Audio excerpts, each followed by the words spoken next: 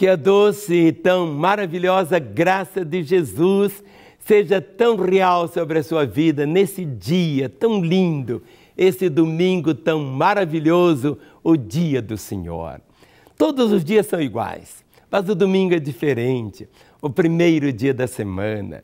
É verdade que para nós cristãos, todos os dias são dias santos. Todos os dias foram feitos por Deus, todos os dias que tem 24 horas, mas hoje, de um modo tão carinhoso, nós recordamos a realidade da morte, mas da ressurreição do Senhor. Porque foi no primeiro dia da semana, como o dia de hoje, que Jesus ressuscitou. Aleluia! O domingo é o dia da igreja. Guarde sempre no coração isso. A igreja de Jesus, não pense que é a soma das igrejas, a igreja A, a igreja B, a igreja C, a igreja D. Então, são a soma das igrejas. Não, é a soma dos salvos. Dos salvos. Aqueles que um dia tomaram Jesus como seu Senhor e Salvador, formam a igreja do Senhor. Não é a placa, placa, placa, placa, placa, placa, doutrina, doutrina, doutrina. As doutrinas dividem, as placas segregam, mas Jesus é um só. A igreja de Jesus é uma. Ele não tem duas noivas, ele tem apenas uma. A igreja é a noiva de Cristo. E quando você entende isto, brota dentro do seu coração uma compreensão diferente da vida.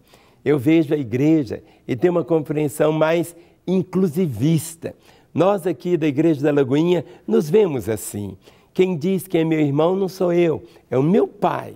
Qualquer pessoa que tomou a Jesus Cristo como Senhor e Salvador, aquele que nasceu de novo, é meu irmão.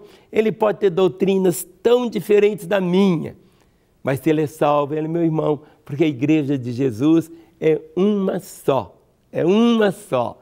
E hoje eu chamo também o dia da igreja.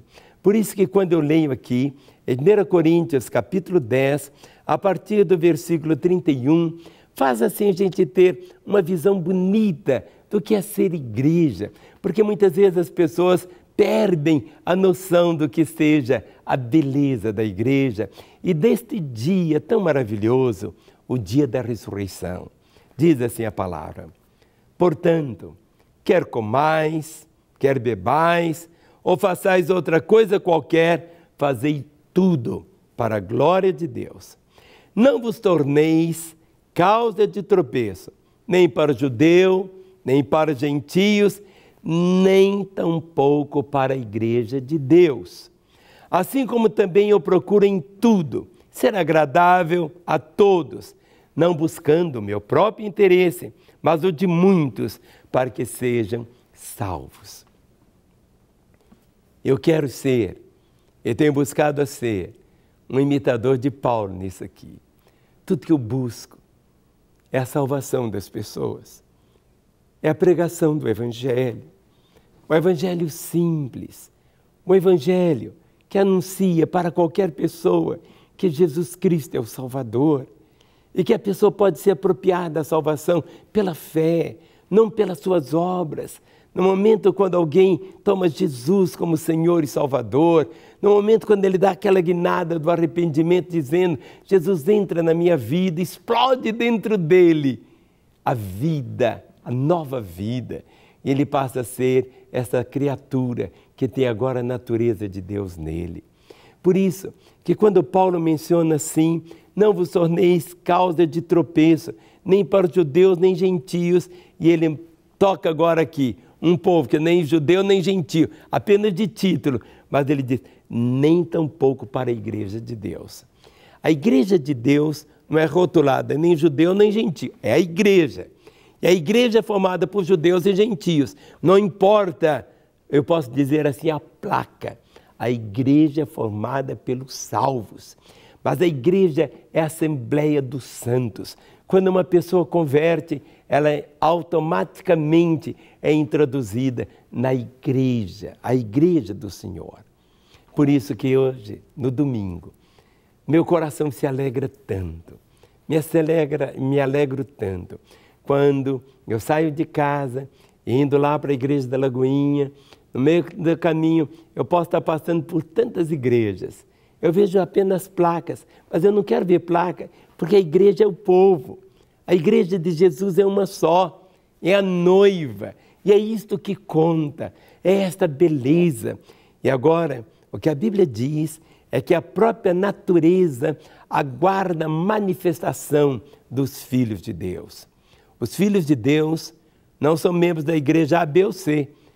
Não é a placa que faz as pessoas serem filhos de Deus, nem tampouco se ela tem uma carteirinha. Não. O que faz ela ser parte do corpo de Cristo é o novo nascimento. Todos aqueles que nasceram de novo, que experimentaram a graça da salvação, que tomaram a Jesus Cristo como Senhor e Salvador, passaram a fazer parte de quê? Da igreja de Deus. Da igreja.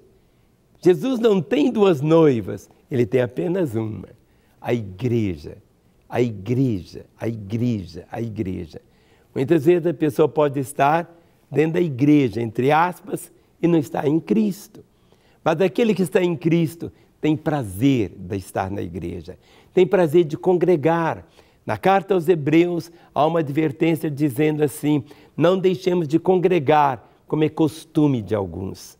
Tem pessoas que hum, têm esse costume de não congregar, ele precisa fazer parte de uma congregação.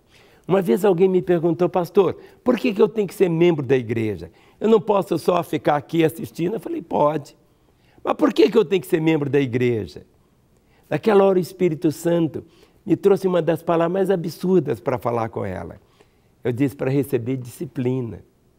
Ele olhou, como para receber disciplina?